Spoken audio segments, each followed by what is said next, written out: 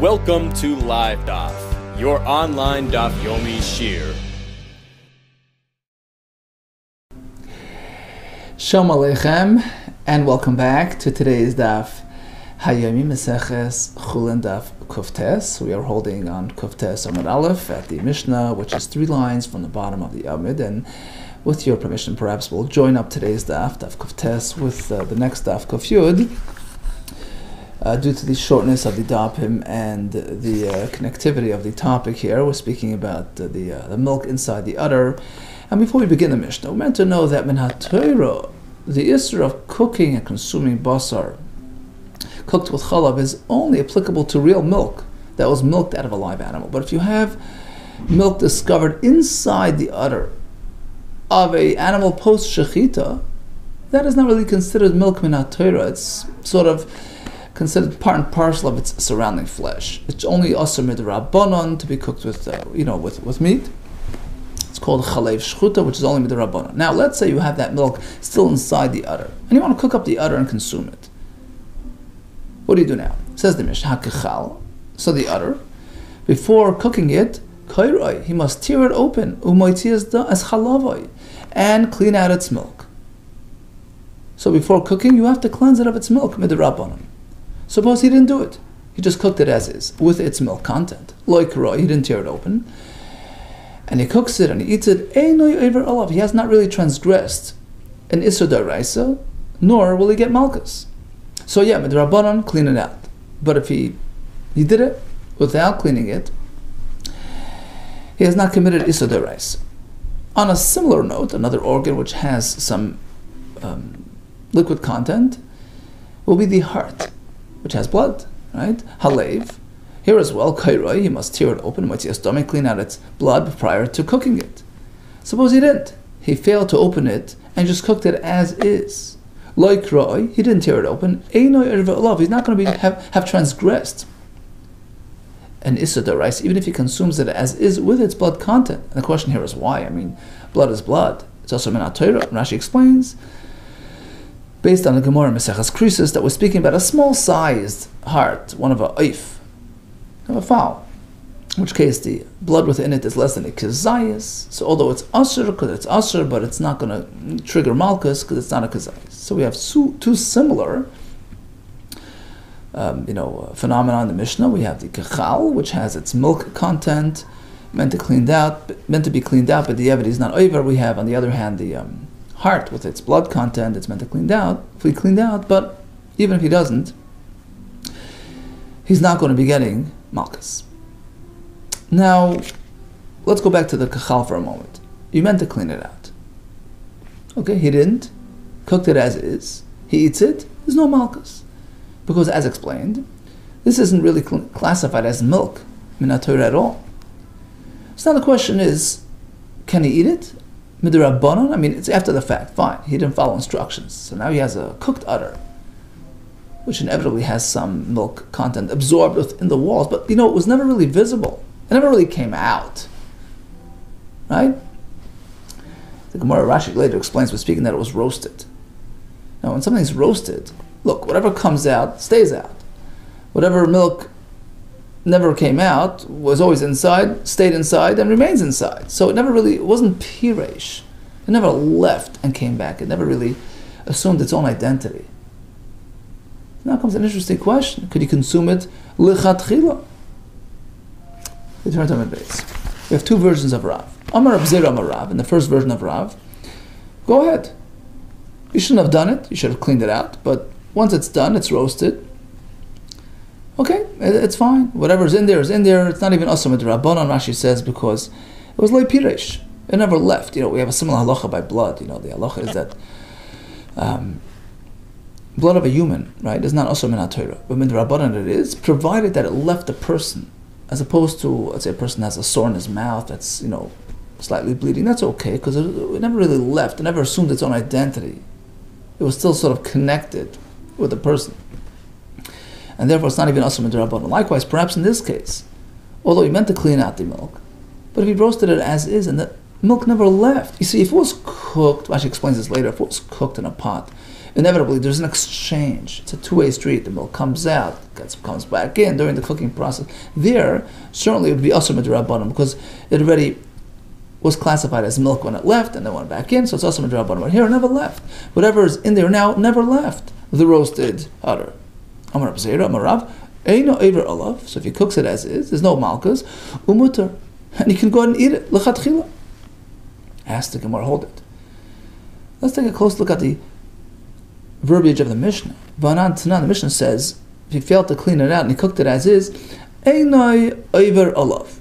Okay, he hasn't really transgressed. Nisa Raisa, there's no malchus. Okay, so uh, that much, but it doesn't sound like he can go and eat it. May Avur Avar, he hasn't transgressed.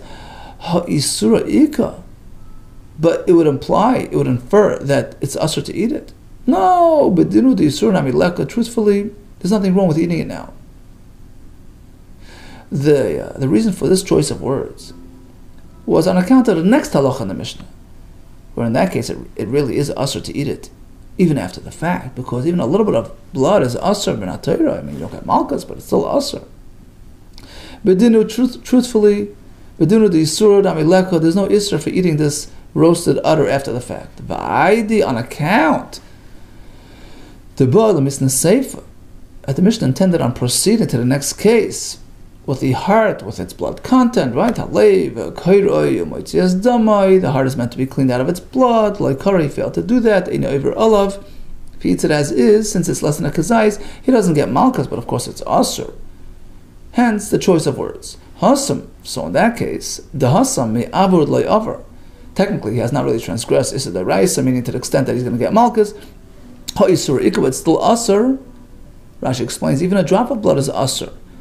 Rashi says chatzi shir, even a half of, of a shir, asur min So the choice of wording in the next part of the Mishnah was accurate. Was meant to teach us a very specific lesson. Tanami Rashis, on account of that lashon, the Mishnah chose, you know, matching symmetrical language that even by the uh, kachal, the roasted udder, ain't over olav, is not going to be over, uh, you know, if he eats it, but really it's more than that. You can eat it lechatchila. Leima perhaps I can now support Rab's halacha from a brisa, it would seem that the udder is perfectly permitted. Hakachal, back to the udder.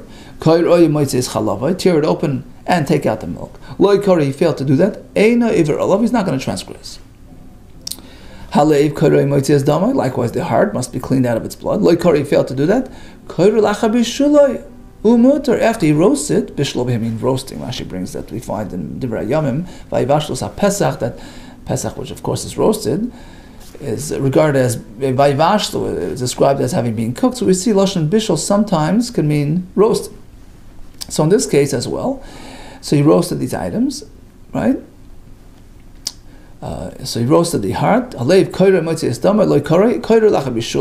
uh, tears it open afterwards. And and now that he cleaned out the, the milk, it's okay. Now let's just stop for a second.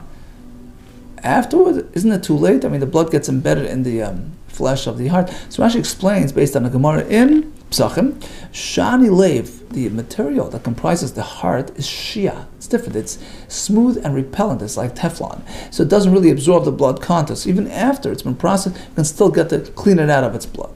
Now, end of quote. Let's analyze this price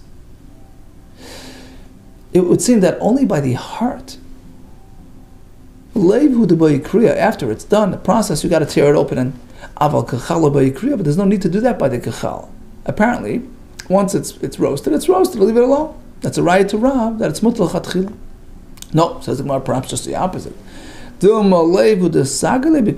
Brisa just means that the heart has an advantage that you could tear it open now and clean it up, because as we explained, it's not really going to absorb it, right, during the you know roasting process. So now you can still clean it out. It's not too late. But perhaps the point is that by the udder, it's too late to clean it out. So just the opposite. We thought it's going to be a rai that it's mutal chatchila. Perhaps just the opposite. It's too far gone. It's asr b'diyev.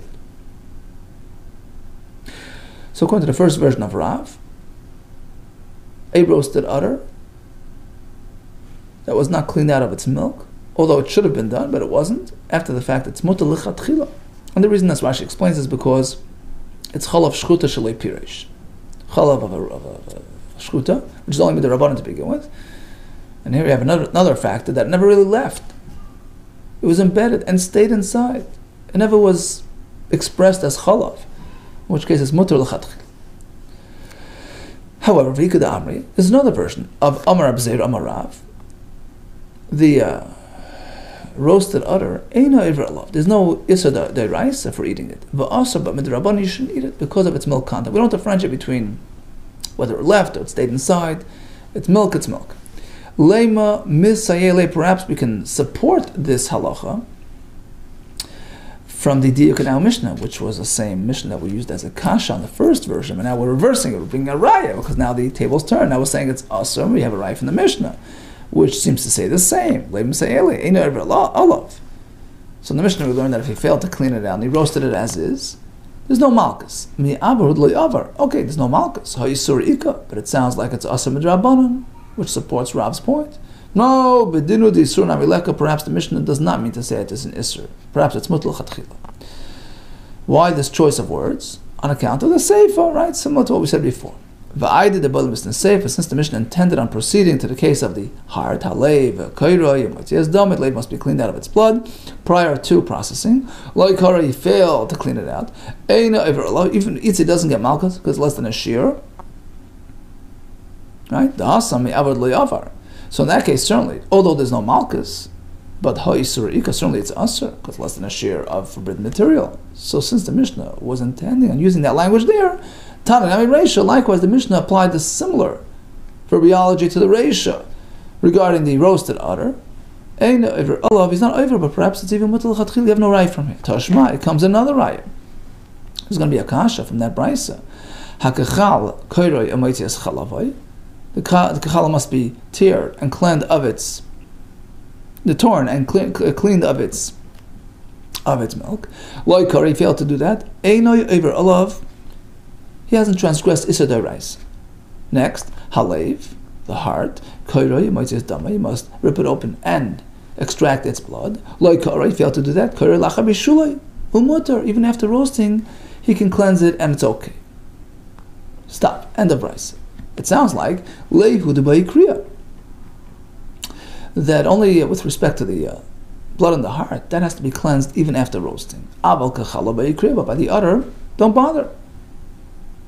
That's a kasha on this version of Rav who says you can't eat it even now, even after the fact. Says Igmar, no, who says?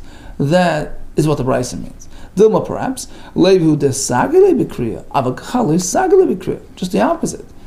By the heart, due to the fact that it's repellent, material is non-absorbent, you can now go ahead and clean it out even after it's roast. But by uh, the uh, the it's too late. Sagli, because you can't do it. So bottom line, we have a machlekes regarding a roasted udder, which he did not clean out prior to roasting. First lashon of Rav is it's mutal chatchila, because it's chalav shchuta, which is midrabana, which never left. The the organ. According to the second lashon, it's also Rabbanan. Tanya, we have a brisa, the Rab, in support of the first lashon of Rab, that it's mutar lechatchila. Kechal shibish lebechalave. Udder was roasted with its milk content, mutter. Okay, so it's okay. Uh, but the evidence is okay. However, a keva. Oh, now we shift to a little bit of a different variation of this halach. We have a keva. That's the fourth stomach of the animal. So we have a young calf nursing from its mother, and after shchita, you uh, discover the cave full of milk, you know, from its nursing. Shebish chalava, which was cooked with its milk content. In this case, it's aser, aser minat Torah. I mean, you would ask, what's the difference? The other with its milk is okay, but the cave with its milk is aser. Uma hefresh benzel What's the difference between this and that? Says the more very simple. Zeh konas b'meyav. In contrast to the other, which is ein konas it's not collected in its stomach, which means to say it's it's still embedded in the you know the milk producing you know uh, cells or whatever, right? It's it's um, conduit. It's not it's not uh, milk that had been milked off an animal and is now found inside the next animal. Zeh konas by the nursing calf. He milked live milk off the live mother. And then it was konas b'nev collected in its stomach. That is milk min right? So then when it's cooked together with its stomach, it's basar b'chala, but v'zeh in konas, but the milk inside the udder. Doesn't have that. It doesn't have a nurse from a live animal and then collected in the stomach of the, of the calf. No, it's still its, in its original uh, production facility. So in this case, at most, it's only chalav shchuta midrabanan. And uh, certainly when it, uh, it never even left the udder, and it was roasted as is, midrabanan, even midrabanan, you can eat it Ketzad So back to the Mishnah, which instructs us to tear open the udder. How do you do that? Amar Rabbi Yehuda, to what extent do you have to open it? Kodesh Jesivator, back and forth, like an X. Totally tear it open. And then squeeze it against the wall, against the hot surface, and actually extract all the uh, the milk prior to roasting it. Amalei Rabbi Lazar. Rabbi Lazar turned to his helper Lashameh. He says, "Crowley vana ichel." Just you know, give it a tear, and then you'll you know you'll serve it to me. Mike Mashman, what's his point? Masnisani, we have it in the Mishnah. Why is he telling him over a Mishnah? I mean, uh, we're assuming that his uh, was a learned fellow, right? And uh, why do you have to tell him? Uh, Masnisani, Okamashman, his point was to say like this that since you're merely roasting it for me, you're not cooking it, you don't need such an extensive cleansing process like the Mishnah. Hakamash malon, shesi ve'erev, v'toche That, he, actually, he was teaching that the Mishnah never meant uh, an extensive cleansing process. You don't need shesi back and forth and squishing it against the wall. That is only regarding bishul. Shavida was talking about bishul, according to Rabbi understanding. When you cook it, it has to be really cleansed because when you cook it, there's an exchange of flavor and liquid going both ways, a two-way street. So there has to be fully clean. Because once it leaves and comes back in, that's a problem. But when you're doing tzliya, when you're merely roasting it, just open it up a bit so that the roasting process will extract and expel whatever it is, and uh, then we're, uh, you know, we're, we're, clean of any milk, free of any milk. Amrle Yalsa. Here comes an interesting discussion. Yalsa, who was the wife of Rav Nachman, she was apparently a very learned person, and she turned to Rav Nachman. She says, "You know, I have an interesting observation. The, Torah sets up many parallels, many matching pairs. You have an item which is forbidden, right? And correspondingly, the Torah says, "Look, I'm not going to stretch it all the way. I'm going to give you an allowance." to have a little uh, a sampling, a taste of something similar to that forbidden item. So Torah doesn't just lock the door all the way, lock you out of all these things. Torah gives you an, an allowance to have something similar, to satiate your, uh, you know, uh, your, your taste, your curiosity, right? The Gemara actually says, Rashi brings it by the, uh, you know, kiseitze, by the Eshes Yifas Toyar. Torah is sensitive to the fact that we have very strong opposing force of desire, right? And, and, and interest in things which are not necessarily commendable. So Torah allows us something which uh, gives us sort of a, an opening, a window into the uh, experience which is really usher. And we find that throughout the Torah. She gives a whole rundown, a whole printout. Listen to this. Look, call the Asalan Rahmana all the things that are asr in the Torah, Sharul on Kavasei, the Torah provided us with a corresponding phenomena, which is a, a, you know experience, which is very similar, which is mutter. Shalom kavasei. For instance, asr dama. We can't eat blood. Shalom kavda. But Torah allows us to have uh, liver, which is essentially congealed blood. So you get a taste of blood. It's a permitted version of blood.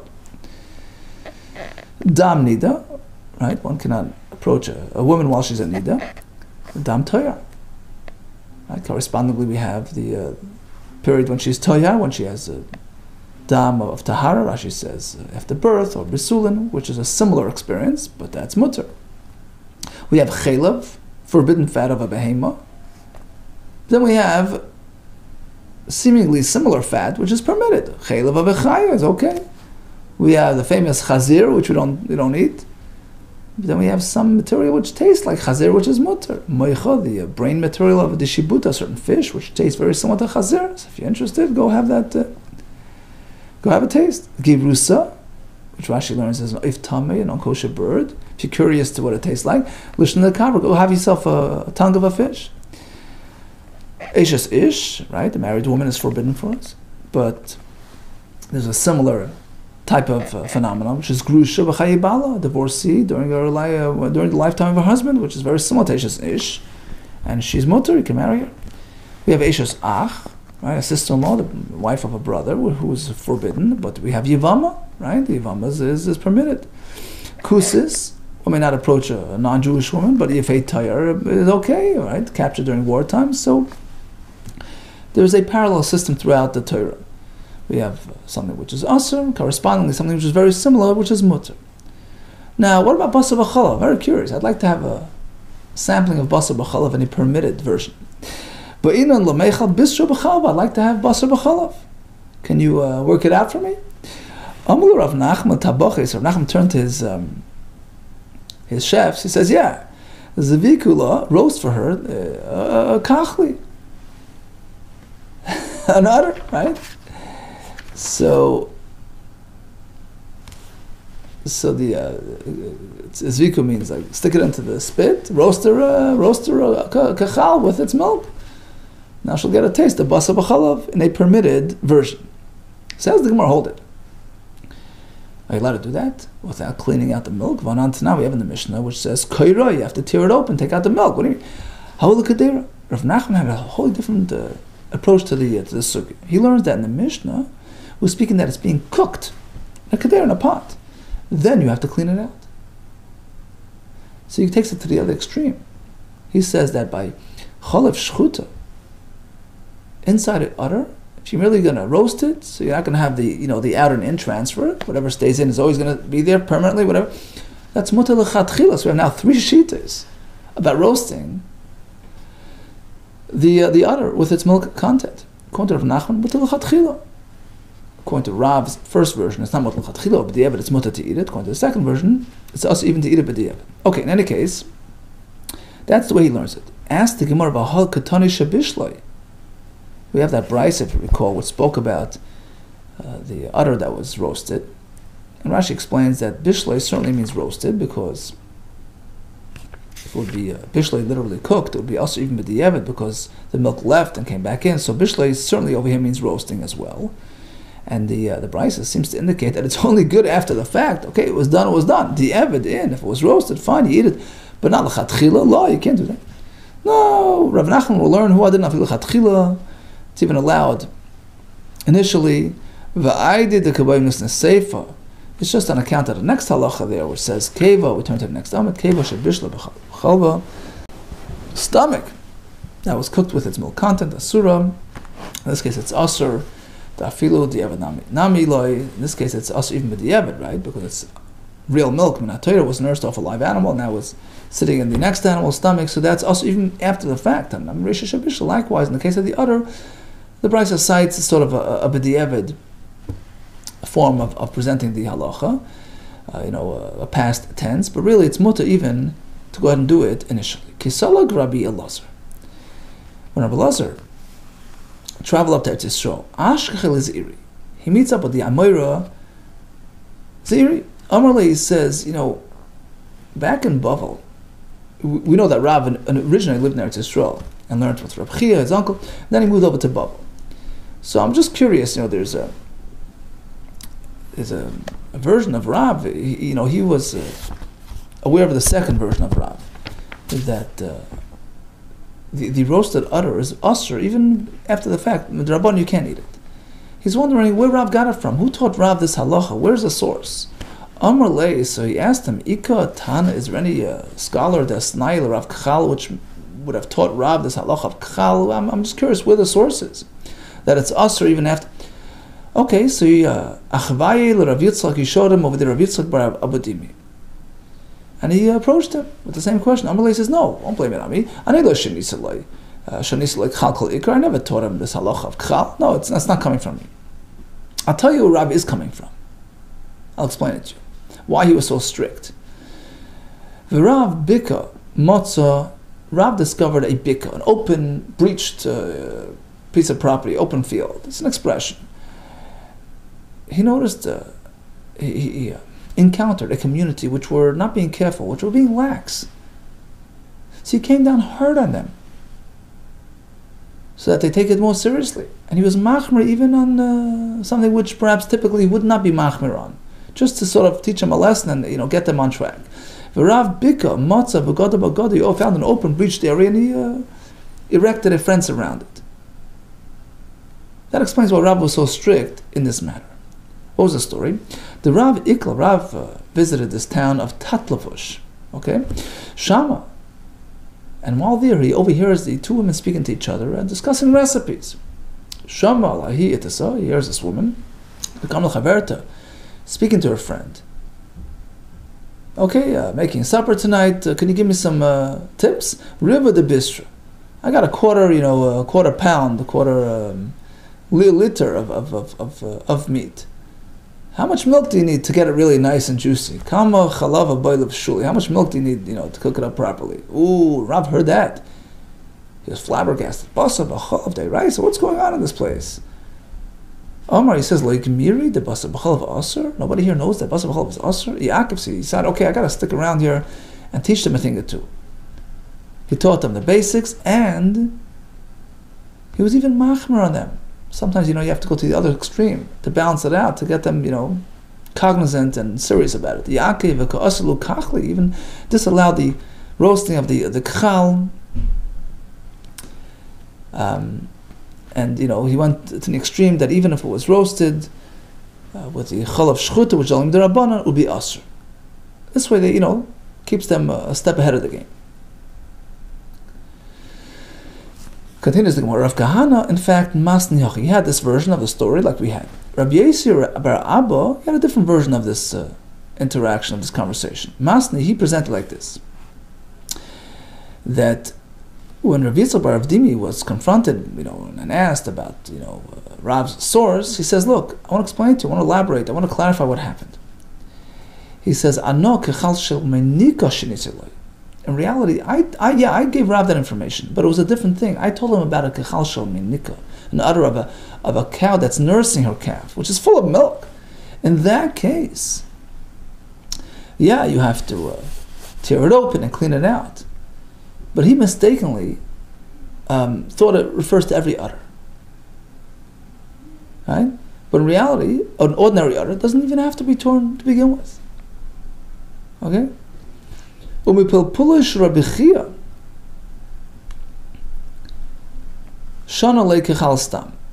So what happened was, Rashi explains, Rav learned by his uncle Rabbi Chia, who's mefulpul, very deep and sharp, and he he thought that his uh, talmidim are on the same level of, depth and analysis, and when he taught them the halacha, he, he failed to sort of clarify that he meant only the uh, nursing udder. So when he taught it to them, Rav understood, misunderstood, and misapplied it to an ordinary udder as well, which in reality Rav Chia did not have in mind. And he applied the same strictness to an ordinary udder. But the actual halacha is no, that only by the nursing udder are we so machmer. But otherwise, you don't even have to tear it open because uh, you know whatever it has in there is not significant, and, and you know. So that explains why Rav was so machmer. But in reality, it, it, would only have been applied, should have been applied only to this specific, unique type of situation. Continues the Gemara. Ravin Rav Yitzchak Bar Yosef. What happened to them? Iklu lebeira Papi. So they came. Uh, they paid a visit to a Papi's uh, home. They served them uh, a dish of, of, of an udder, a cooked udder fleischige uh, dinner. Rav Yitzchak Bar Yosef, achal, he ate. Rav, no, lo yachid didn't want to eat. I guess he was able to tell that it wasn't, uh, you know, cleaned out. Amar Abayis Abaye responded, he says, Ravin, Tichla, Ravin had lost his children, so it was a, a sad reference to Ravin. Ravin, poor Ravin, Amai loy achal, why, did, why, why didn't he eat the meat? It was served by a righteous woman who certainly had her uh, traditions worked out. She knew exactly what's what, what's what. Michti Dvisud Rapapi. Who was the wife of Rapapi?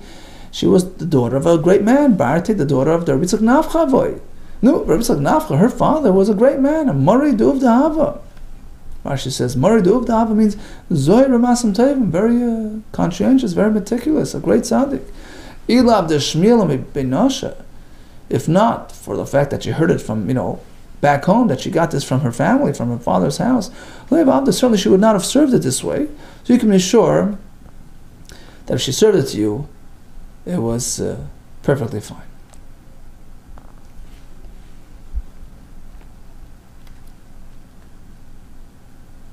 Right, so perhaps Taisa says um, he thought it was a nursing udder. In reality, it wasn't. So it's not an issue. Now, Besura, so in a practical sense, how do they uh, conduct themselves? In Surah, Besura lo yachli kachli. They would refrain from eating the cooked udder at all. At all. Even roasted, even cleaned open. It was a, a stringency that they adopted. They wouldn't touch the kachal lest you know it come to complications. Bedis, on the other hand, the other town, achli kachli, they would eat the kachal. Right? As per the halachas in the Mishnah, clean it open? No problem. Now what happened? Rami Bar Tamri, that was his name, the who, he had another name, he's also called Rami Bar Dukuli. And he hailed from Badisa, that was his hometown. Ikul Surah, now he's in Surah. It's Erev Yom Kippur. Got to prepare for the fast, got to eat. B'mali Yom Kippur. No, afkinu kuli amal kachlinu. Now the locals, right, would not eat the kchal, right? So they separated their kchals from their animals, shadinu, and you know tossed them out. What did he do? He went out. He went around collecting them. He had a free meal. Azali unaktini went around, gathered them together. Achlinu, he ate them. Okay, he had a free meal for Yom Kippur, Erim Kippur, because he came from from Pumbedisa where it was permitted. Okay, so the uh, locals noticed him. They were flabbergasted. I saw the Rav Chisda. I slept into Rav Chisda. Call him to task. What are you doing? Eating forbidden materials. Armalesi he says to Nu, Amai Tavid why'd you eat it? Why, why are you doing that? Armalesi says, what do you mean? Where I come from, it's okay. I come from Yuda's town. The Achel, he would eat. So it's good for him, it's good for me. Armalesi turns to me and says, but what about the adhering to the local practices? For last do you not uh,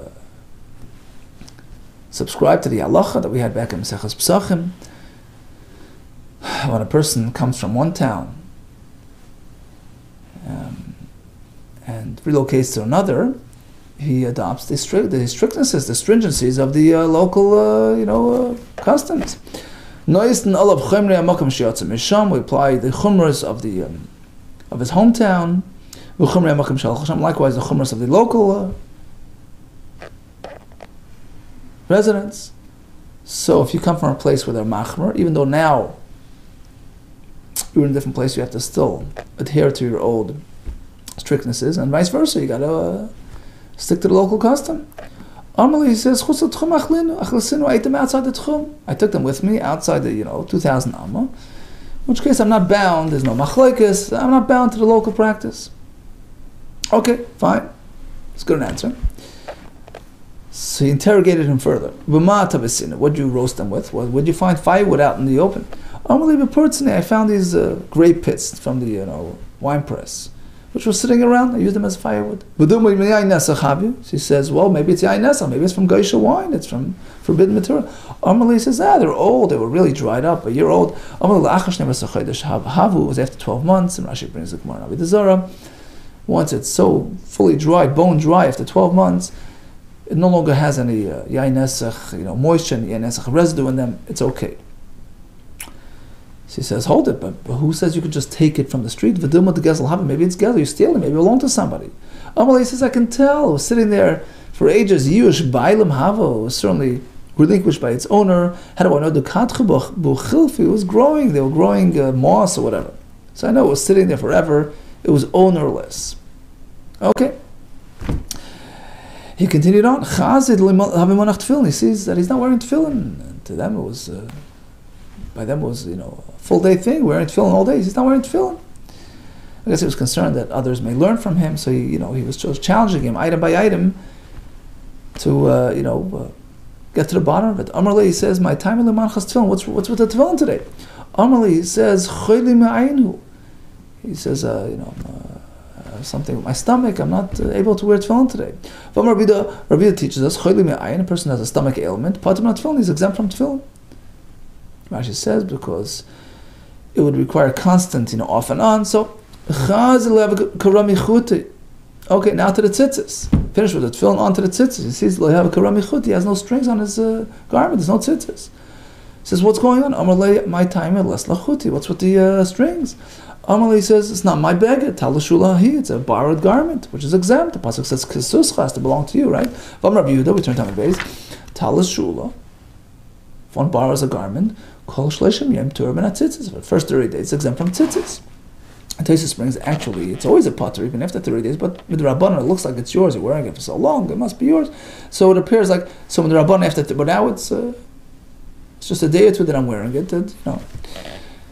Okay, as he's still standing there, the hachi, as this was going on, I saw lo garver. Suddenly they uh, noticed this fellow being pulled into the bezin there. They dragged this man. The a moiker. What, what was his offense? He um, wasn't very careful with honor, honoring his parents. He uh, neglected the mitzvah of kibbud avim, the leihava moiker avov imei, wasn't respectful to his parents. Kavsu, they tied him up, they bound him down, they're about to give him malchus. Now Rashi explains, unlike the regular 39 lashes, which is the malchus Torah given as a punishment after one transgresses a mitzvah say here it's a different system. This was not for the sake of punishment, rather for enforcement.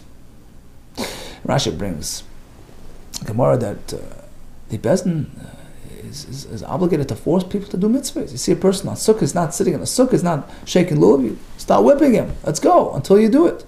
And it's limitless. There's no lum- there's no number, there's no defined amount of.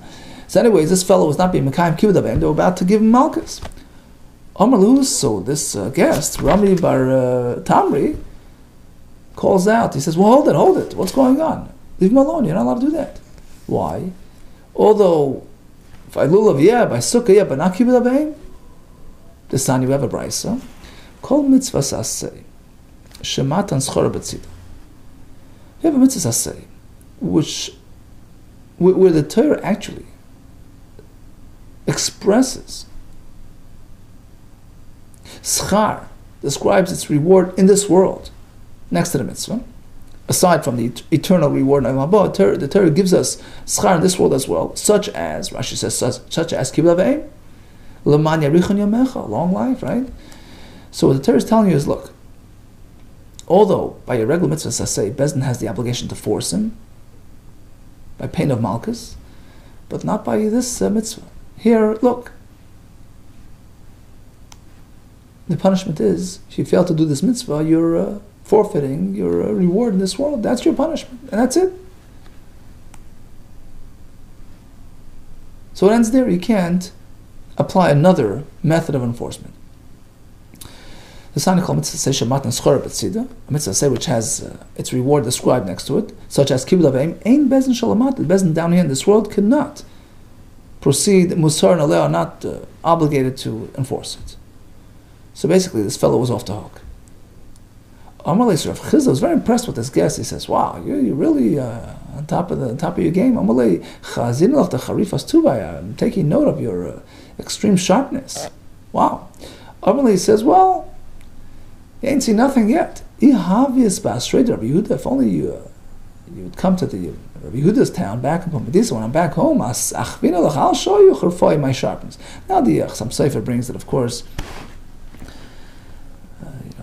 it would seem, right? This is not something that a person, Talmud Chacham, you know, typically not boastful, is not haughty. So why was he expressing himself this way? If you, oh, if you would only know how sharp I really, really am. So interesting. Listen to this. Beautiful piece that Chasam Sofer brings from his Rebbe, Rav Nosson Adler Zatzal. He says like this. It is known that a person only um, achieves, only arrives at his ultimate, maximizes his, his intellectual abilities when he disengages, when he actually um, disengages, detaches from his Rebbe, and goes out on his own and spreads his wings. As long as he's still under his Rebbe's tutelage, it's sort of suppressed, right? He's still, you know, sort of receiving. He's not really developing, himself as he should be. Now, you may recall a minute ago, at the beginning of this uh, discussion, at this sort of debate, right? He says, "What are you doing? Eating the uh, kachal, contrary to local custom." He says, "Well, uh, you know, I come from the other place, and I'm out of the tchum, and etc., etc." Basically, I'm just passing by, right? It's just a temporary. I didn't really take up residence in this place. So now, when he noticed how sharp he was, he said, "Hold it! You claim that you're still uh, connected to your Rebbe back in Pumbedisa. You're still a resident of Pumbedisa. No, I, it seems from your level of intellectual prowess that you're really a local. You're so sharp. You're, you're disengaged from your Rebbe. You're on your own. That's the only way to explain your extreme sharpness and your high level of intellect. So really, you're a local. And you can't eat chal. you living here? So he says, no, no, no. You ain't seen nothing yet. You come back to Pumbedisa, I'll show you how far, how much further I can go. I have a lot to learn. I plan on going back. I'm just passing through. I'm still back by the Rebbe. I'm developing myself further. My, my capacity is so much greater than this. I still got so much more to learn and to develop myself. In which case, incorrect. I'm not a local resident. I'm really a, still a Pumbedisa resident. In which case, it explains why, it justifies why I was able to eat tikachal. Very interesting. Beautiful pshat in the Gemara. Okay, perhaps we'll leave the rest for tomorrow. That's a whole new topic about uh, cooking, roasting liver. We'll get to that by the Shem tomorrow. Okay, so in a nutshell, we had the Allah of the kachal. And again, Minat only milk that was milked off a live animal is considered true milk, which is also to be mixed with meat. The Rabban, even a chalav shchuta, chalav discovered within a slaughtered animal, is also considered chalav. Now, the udder is sort of a tricky thing because, you know, the milk within it, if it's roasted, you know, as is, it's just going to stay there. It never, never going to leave. So if it leaves and comes back, then you have a problem. That's certainly also midrabanan. But if it's being roasted as is, whatever leaves, leaves. Whatever stays, stays permanently. So that was the big shaila in the Gemara. According to Rav Nachman's mutal chatchil without even cleaning it out. According to the other sheet, you have to clean it out. Um, but but the evidence, if it wasn't cleaned out, just roasted as is, Rav says mutter. According to the second lashon, is asr. The Gemara later explains this is according to the explanation here that it only applies to the um, to the uh, Nika, the uh, you know the, uh, the mother uh, cow, which is um, you know the nursing process, so she has lots of milk in there, um, and um, yeah. Otherwise, according to one shot in the Gemara, you don't even have to attend to the udder, and even you know clear it open, as per the story with the wife of Rav Papi, right?